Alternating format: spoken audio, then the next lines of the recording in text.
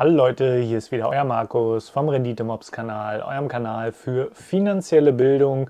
Und dieses Video wird kein Depot-Update, dafür ist es noch ein Tick zu früh. Nichtsdestotrotz dachte ich mir, dass äh, sich diese Ansicht ganz gut macht, um ein paar Sachen zu erklären, denn ich wurde in einem meiner letzten Videos unter anderem auch gefragt, wie ich es halte mit Nachkaufen, wie ich äh, Aktien aussuche und dergleichen. Und äh, zuerst, und das ist das Wichtigste, sei gesagt, ich bin kein Anlageberater und dies ist äh, keine äh, Empfehlung zum Kauf äh, oder Verkauf von Wertpapieren. Ihr müsst selber wissen, was ihr macht. Aber ich möchte euch trotzdem ein paar grundlegende Dinge mit an die Hand geben, die ich denke, dass äh, sie mehr oder weniger Allgemeingültigkeit haben und euch äh, eventuell helfen. Ähm, nun, äh, lass mir dazu sagen, viele, äh, so habe ich das zumindest mitbekommen, haben ja äh, irgendwie im März, April diesen Jahres angefangen mit dem Investieren und seid mir nicht böse, aber mehr oder weniger hätte man einen blinden 50 Meter von der Dartscheibe entfernt hinstellen können irgendwelche Wachstumstitel darauf pinnen können und der hätte geworfen und äh, hätte wahrscheinlich Gewinn gemacht. Will damit sagen, in diesem Jahr war es tatsächlich eher so, dass äh, man eventuell sogar, wenn man weniger wusste oder weniger sich Gedanken gemacht hat und einfach nur stur und ein bisschen, muss man natürlich auch dazu sagen, die Coronas hatte, ja, die Eier hatte und beispielsweise auf einen Tesla oder eine Bitcoin oder äh, Gold oder irgendwas gesetzt hat, dass man äh, damit ja, Renditen gemacht hat, die weit über 100 Prozent und mehr sind, ja, und das ist äh, wesentlich besser als äh, jetzt irgendwelche Anlagenprofis, die sich ja teilweise sogar defensiv ähm, verhalten haben. Und wenn eure Strategie ist, ähm, kurzfristig immer in den Markt in solchen Downzeiten zu gehen, alles sozusagen, wenn die Leute ängstlich sind, gierig zu sein, dann wieder rauszugeben mit einem riesigen Gewinn, dann das Geld äh, wieder zu liquidieren, also liquidieren im Sinne von aus Aktien komplett rauszugehen und dann wieder drei, fünf oder zehn Jahre zu warten, bis der nächste Rutsch kommt und der kommt immer ähm, und dann wieder reinzugehen. Wenn das eure Strategie ist, alles gut. Dann ist ja auch das eine Strategie dahinter. Wenn ihr allerdings länger investiert sein wollt und äh, zumindest statistisch gesehen zeigt es, dass ähm, immer dass man, äh, je länger man drin ist und äh, im Markt sozusagen, desto äh, größere Rendite hat man im Durchschnitt. Also eine, oder anders gefragt, wie viele Investoren kennt ihr und wie viele Daytrader kennt ihr, die äh, Millionäre oder sogar Milliardäre sind? Ja? Ähm, also statistisch gesehen, äh, jemand, der längerfristig erfolgreich äh, im Aktienmarkt ist, ist meistens kein Trader oder Daytrader. Ja, da gibt es ja auch noch die feinen Unterschiede. So, das heißt, ich gehe jetzt erstmal grundlegend davon aus, wenn ihr euch das Video anguckt, äh, interessiert ihr euch auch über 2020 hinaus äh, weiterhin einen ähm, ja, ordentlichen Gewinn oder zumindest einen kontinuierlich guten Gewinn äh, mit Aktien und allem drum und dran äh, kapitalmarkttechnisch zu machen. Dann sei erstmal gesagt, erstmal herzlichen Glückwunsch, gute Einstellung. Zweite Sache, ihr müsst euch daran gewöhnen, dass dieses Jahr eben eine große Ausnahme sein wird und ihr höchstwahrscheinlich, ich sage nicht, dass es unmöglich ist, aber höchstwahrscheinlich nicht mehr äh, oder euch daran gewöhnen müsst, dass ihr nicht innerhalb von einem Monat jetzt mit einmal ein, äh, eine Verdopplung eurer, eures äh, Investitionsvolumens sozusagen seht, sondern dass im Durchschnitt sagt man, dass ähm, ja, man ungefähr so 8 bis 10 Prozent, 9 Prozent so ähm, Vorsteuern an Gewinn macht über Jahrzehnte. Warren Buffett beispielsweise hat in seinen besten Zeiten äh, praktisch jährlich über 20 Prozent gemacht, aber da seht ihr auch schon, welche Maßstäbe es sind. Also ähm, natürlich, wie gesagt, ich will es gar nicht schmälern, wenn man äh, in diesem Jahr die Eier hatte und zu investieren und alles auf eine Karte zu setzen und äh, dann eben erfolgreich war. Chapeau, aber man darf eben nicht erwarten, dass äh, das auch die nächsten Jahre so weitergeht. Von daher kommen wir jetzt mal dazu, wie man auf längere Sicht ganz gut abschneiden könnte. Und ich habe mir fünf Punkte aufgeschrieben, beziehungsweise fünf Punkte ist sozusagen meins. Und ähm, vielleicht nochmal vorneweg, auch das glaube ich, relativ wichtig. Das ist alles nicht in Stein gemeißelt. Ja, ihr werdet älter, ihr werdet erfahrener, ihr unterhaltet euch mit anderen Menschen, ihr liest äh, andere Bücher. Ähm, es wird höchstwahrscheinlich nicht mit äh, 18, nicht, werdet ihr nicht die gleiche Strategie haben wie mit 25. Höchstwahrscheinlich. Und mit 25 nicht wie mit 30.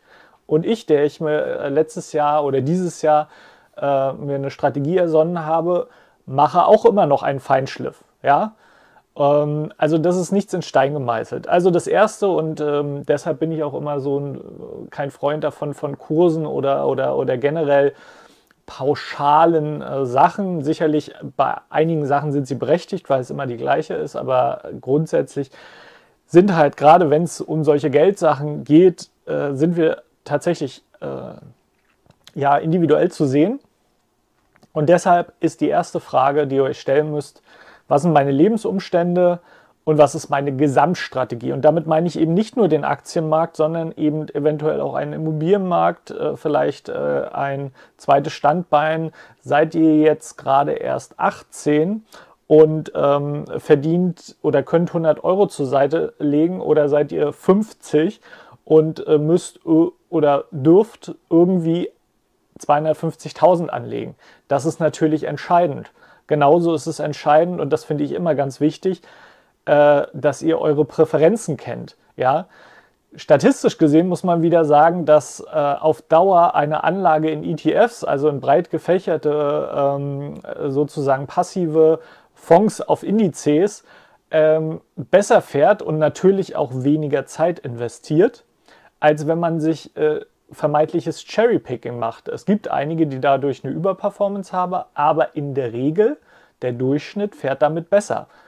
Fangt ihr jetzt mit 50 Euro oder 100 Euro an ähm, und das sind eure ersten Investments, wäre ich beispielsweise dafür, eher in ETFs zu gehen.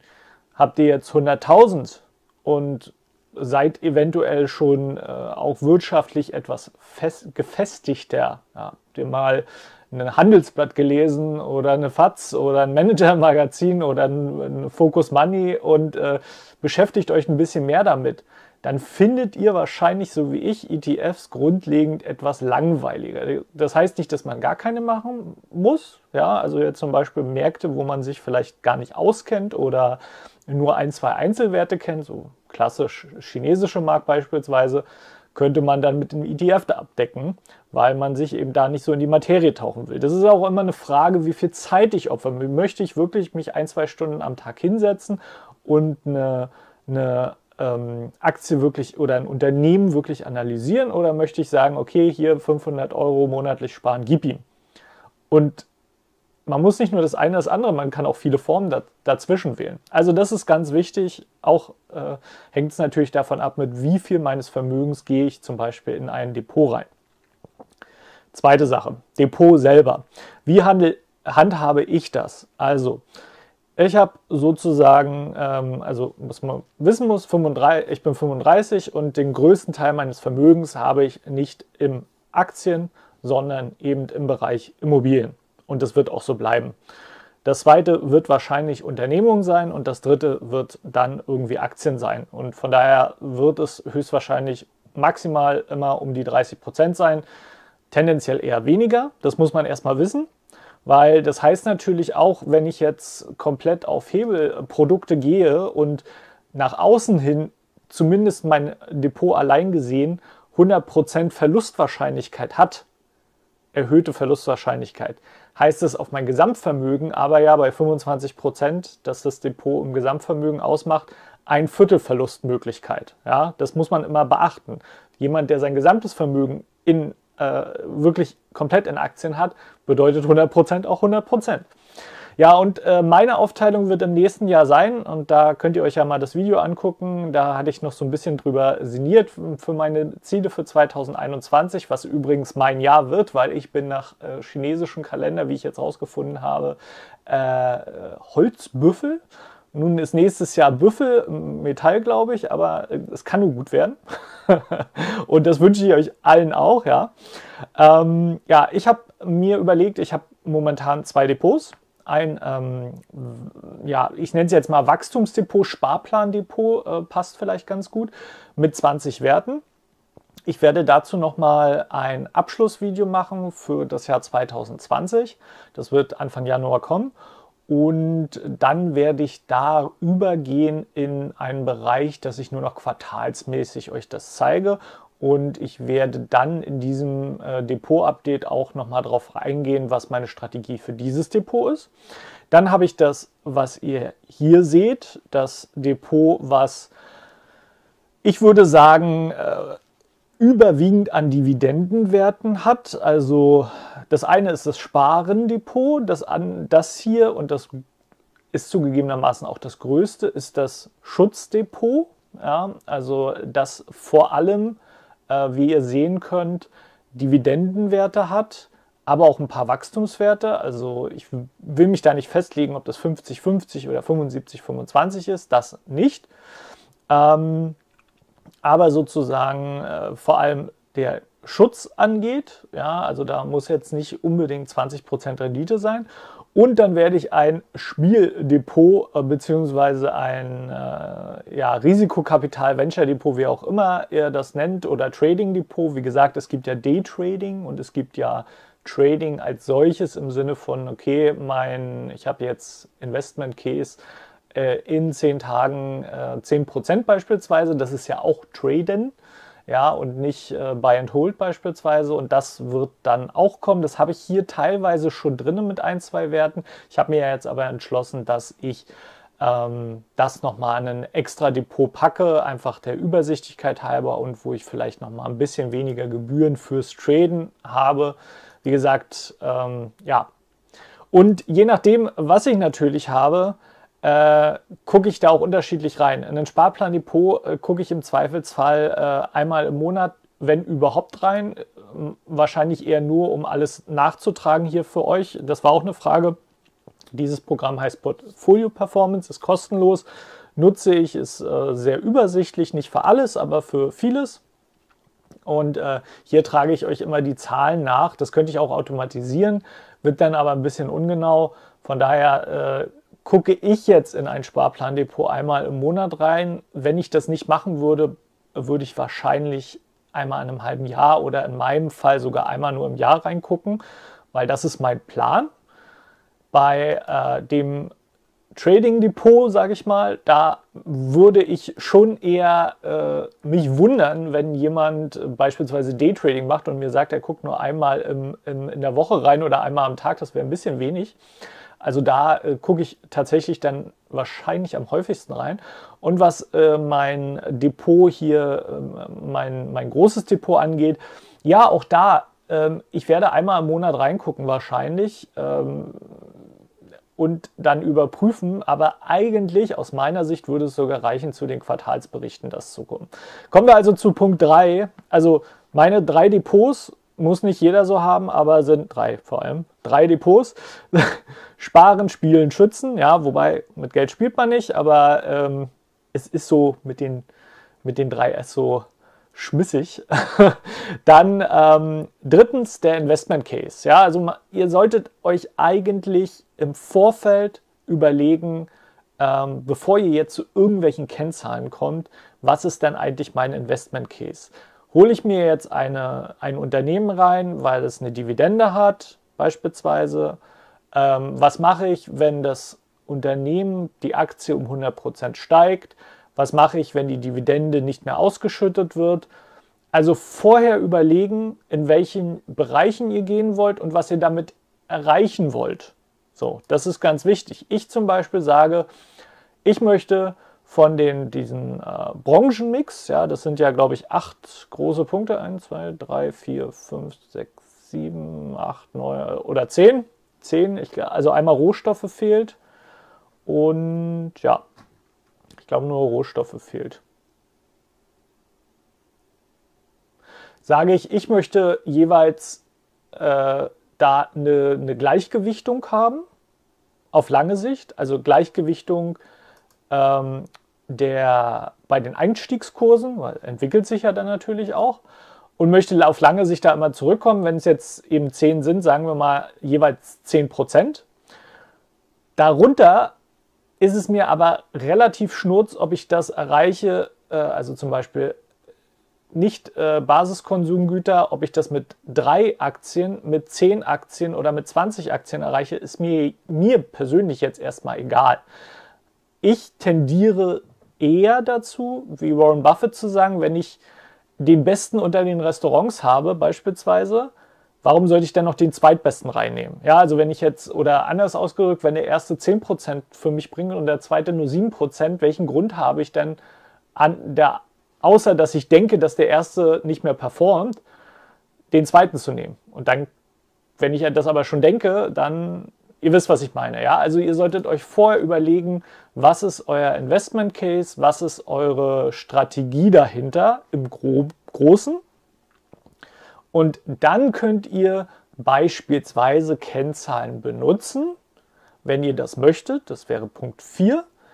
Muss aber nicht sein. Ja, also zum Beispiel, ähm, aber wie gesagt, ich werde das nochmal detaillierter machen. Bei meinem Sparplandepot gucke ich gar nicht darauf. Ja, es ist natürlich auch insofern in einer Zeit wie dieser etwas äh, schwieriger äh, mit äh, Kennzahlen äh, umzugehen, die vielleicht eher für Value ähm, Aktien bzw. Value Unternehmen und zur Klassifikation ähm, derer zu nehmen sind.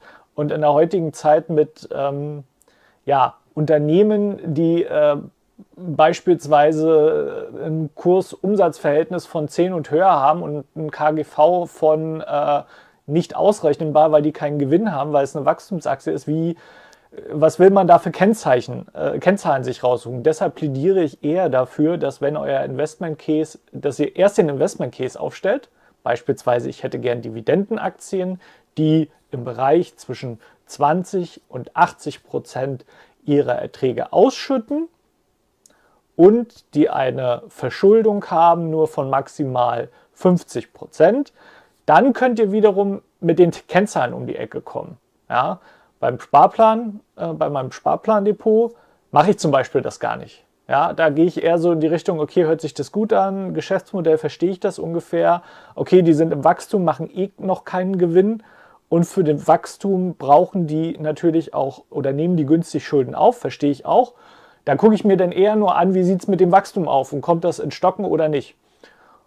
So, ja, also viertens, Kennzahlen ja, aber immer un, also nachgelagert zu eurem eigentlichen Investment Case. Und fünftens, und das ist tatsächlich das, äh, wenn ihr vorher alles durchgemacht habt, da wo ihr dann auf den Prüfstand gestellt werdet, weil wir Menschen sind ja nicht rational, sondern irrational. Und ähm, da müsst ihr euch dann tatsächlich echt disziplinieren, überprüfen, ja, je nachdem, in welchem Bereich ihr seid. Ja, also vielleicht habt ihr auch den Plan, äh, das zwei Jahre einfach nur beispielsweise im Sparplan einzahlen zu lassen und nicht zu überprüfen und erst dann zu überprüfen, kann ja auch sein. Aber wenn euer Investment Case eine bestimmte Überprüfung von Zeit zu Zeit, ähm, ja, sage ich mal, vorsieht und ihr letztendlich dann äh, bestimmte Kennzahlen euch vorher committed habt, die ihr vergleichen wollt und diese werden gerissen, dann müsst ihr halt auch handeln. Und das kann eben sein, dass ihr sagt, okay, wenn das Unternehmen ähm, 100% im Plus ist, dann ähm, sage ich mir, okay, verkaufe ich mein Einstandsinvestments und lasse nur die Gewinne drin, bin sozusagen komplett mit dem Risiko raus. Ja. Oder es kann aber sein, ich verkaufe nicht vorher, bevor das nicht ein Ten-Bagger ist, beispielsweise. Aber wichtig ist, ihr solltet da nicht nochmal an Schwanken kommen. Ja. Wie gesagt, es ist nicht in Stein gemeißelt. Und wir sind alle Menschen. Und äh, kann natürlich dann sein, dass ihr sagt, okay, das war jetzt eine blöde Regel, habe ich damals in der Theorie aufgestellt. Jetzt in der Praxis merke ich, das bin nicht ich. Das kann durchaus sein und das ist auch nicht verwerflich. Ihr solltet nur nicht andauernd eure Regeln über den über, äh, über den Haufen werfen. Ja, wenn ihr versteht, was ich meine. So.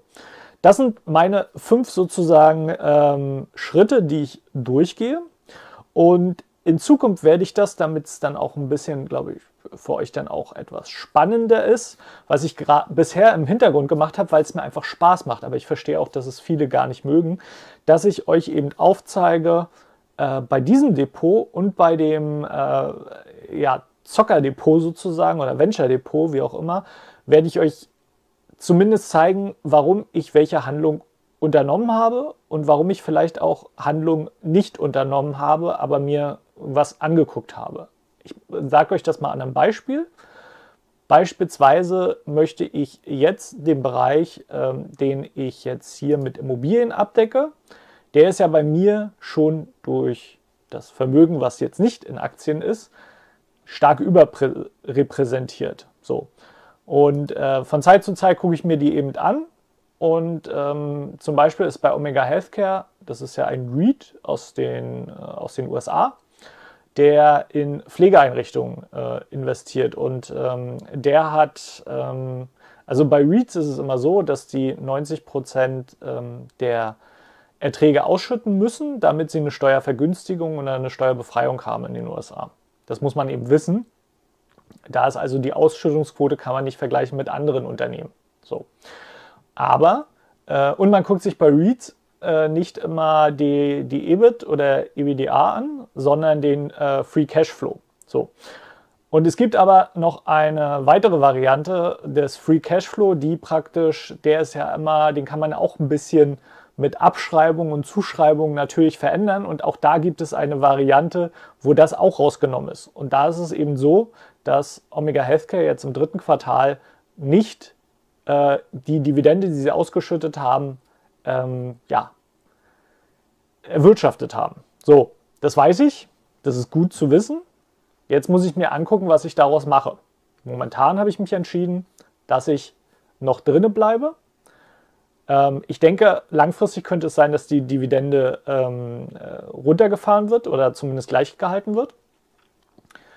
Ich bin jetzt aber mit der Position relativ günstig, also nicht relativ, sehr günstig eingestiegen ähm, und schaue es mir jetzt erstmal noch ein Quartal an, ja, weil ich glaube, dass grundsätzlich das Konzept weiter aufgeht. Natürlich gibt es Risiken, beispielsweise äh, wisst ihr ja alle mehr oder weniger, dass das Gesundheitssystem in den USA schwierig ist, um es gelinde zu sagen. Und Omega Healthcare wird im großen Teil vom Staat bezahlt.